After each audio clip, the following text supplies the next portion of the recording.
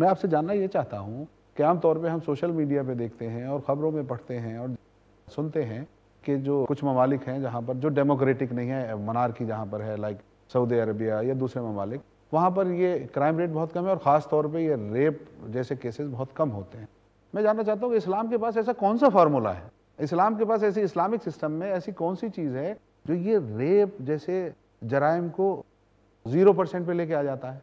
ऐसा कौन सा नुकता नज़र है? क्या और बाकी दुनिया उसे अडॉप्ट क्यों नहीं करती? देखिए, इसमें हमें ये बात को बहुत एक संजीदगी से समझना होगा।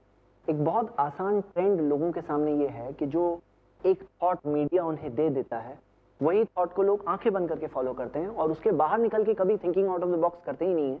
कि आखिर में सोल्यूशन क्या है? इस्लाम ने ये बताया है कि इसमें सोल्यूशन के दो हिस्से हैं।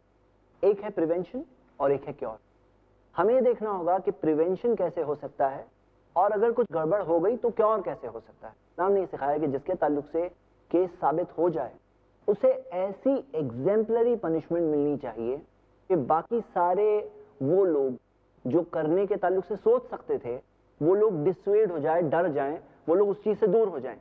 अब इस्लाम ने ये सिखाया है रेप इस्लाम के मुताबिक दो सेक्शंस के अंदर पनिशेबल है। एक सेक्शन खुद जिना का सेक्शन और सेकंड सेक्शन जिसे मुहारबा कहते हैं मतलब एनआरकी फैलाना, एक सिस्टम को तोड़ने की कोशिश करना, ये उसके तहत इसकी पनिशमेंट डेथ है, इस्लाम के अंदर। ये दोनों चीज़ों को मिलाकर। जिना की पनिशमेंट दो अलग लेवल है डिपेंडिंग ऑन वो पर्सन मैरिड है अनमैरिड है, और मुहारबा की पनिशमेंट भी डिपेंडिंग ऑन द लेवल ज़्यादातर चांसेस डेथ के ही।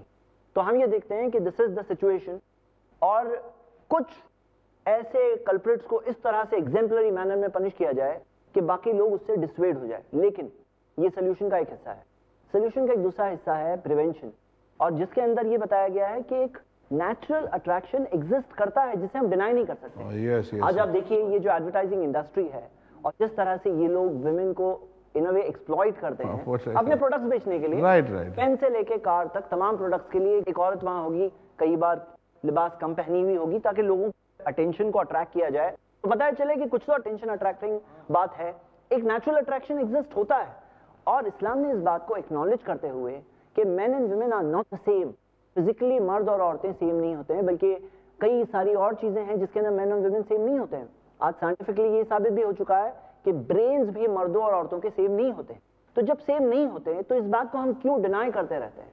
हमें इस बात को बहुत संजीदगी से, बहुत रिलैक्स वे में एक बहुत ही एनालिटिकल तौर पर देखना चाहिए कि आखिर में ये जो सोल्यूशन जो इस्लाम ने बताया कि औरतों को हिजाब में होना चाहिए कुरान में जो वाजे आयतें हैं, अल्लाह ताला ने कुरान में कहा है, सूरह 33 आयत नंबर 59 क्या नबी कह दो अपनी बीवियों से, बेटियों से और मोमिना औरतों से बिलीविंग औरतों से, युदनीन अलहिन्ना मिन जलाबी भी हिन्ना कि वो जब घर के बाहर जाएँ तो एक आउटर गारमेंट को पहन ले।